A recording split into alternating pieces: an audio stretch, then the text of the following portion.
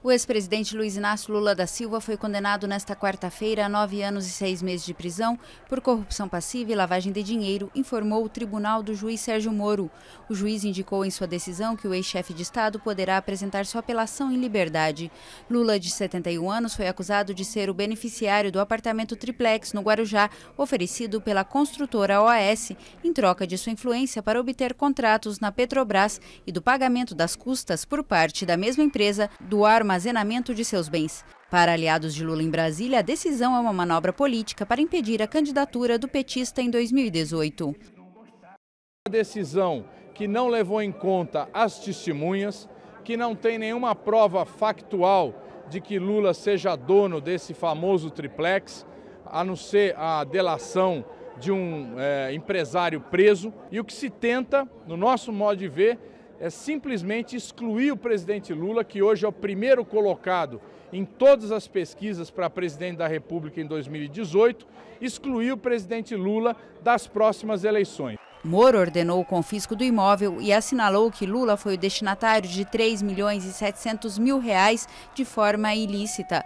Lula, que enfrenta outros quatro processos, sempre negou categoricamente as acusações e as atribuiu a uma conspiração para impedir sua candidatura às presidenciais de 2018.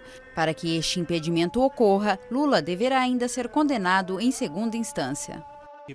O escritório de advogados encarregado da defesa do ex-presidente Luiz Inácio Lula da Silva informou nesta quarta-feira que vai recorrer da sentença a nove anos e meio de prisão por corrupção nos tribunais brasileiros e nas Nações Unidas.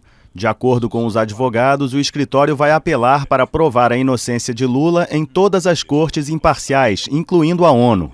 Além da condenação à prisão, o líder petista está proibido de ocupar cargo ou função pública por 19 anos, caso a sentença seja confirmada em instâncias superiores. Segundo a lei da ficha limpa, um político só é impedido de disputar um cargo eletivo se tiver uma condenação por um órgão colegiado. A sentença foi ditada pelo juiz Sérgio Moro, encarregado da Operação Lava Jato, que já levou para a prisão dezenas de empresários e políticos, tanto da esquerda quanto da direita. Lula, de 71 anos, foi acusado de ser o beneficiário do apartamento triplex no Guarujá, oferecido pela construtora OAS em troca de sua influência para obter contratos na Petrobras. Moro ordenou o confisco do imóvel e assinalou que Lula foi o destinatário de 3 milhões e 700 mil reais de forma ilícita.